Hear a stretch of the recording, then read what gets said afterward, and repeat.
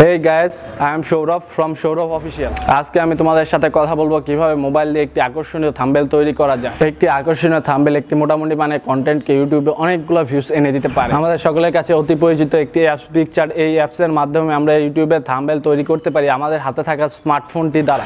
আপনারা আমার এই চ্যানেলে যারা নতুন, তারা চ্যানেলটি সাবস্ক্রাইব করবেন এবং তার পাশে থাকা বেল বেল আইকনটি বাজিয়ে দেবেন যাতে আমার কোনো ভিডিও আপনাদের কাছে মিস না হয়।